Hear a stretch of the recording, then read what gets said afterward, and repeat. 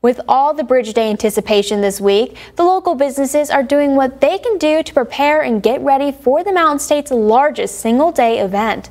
West Virginia's largest events, there's a lot going on with things like people jumping off the bridge, countless vendors, food competitions, and more. It is a celebration of everything to be proud of in the Mountain State.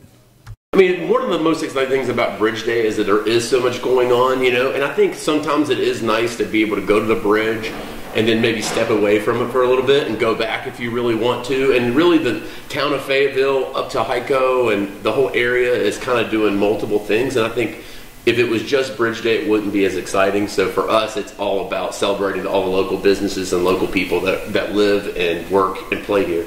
This year, Free Folk is offering something different to Bridge Day goers. The chance to escape the chaos of the bridge to the Hico location, where there will be food and live music via a shuttle that will be running every 15 minutes to half hour. We're having events at both of our locations in Fayetteville and also at Hico. Um, Hico location, we're having Angelo's sausage there. They'll be making hoagies um, and food for people. We're also going to be doing West Virginia made pepperoni rolls. Of course, we'll have eight taps going with some on the beer side, and then we're also going to have some non-alcoholic drinks too.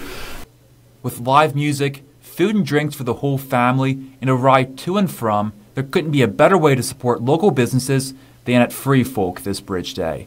Jeff Edwards has been going to Bridge Day since he was a kid, and now being a part of a local business during the day is all the more special.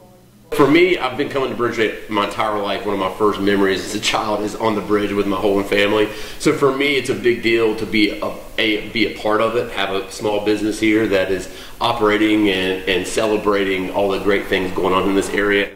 But even with all the great and exciting things happening in the area, the things that make each Bridge Day special is the people who are there, old friends or new ones, and no one knows this better than those who have lived it. I'm excited to see all the faces, you know, all the all the all the families and friends that are coming to the area to celebrate this, and just the excitement that, that the buzz around the bridge is just amazing, and and just, uh, not nothing else in West Virginia. So. So if you find yourself at Bridge Day wanting to escape the chaos and the crowds, take a shuttle over to Free Folk.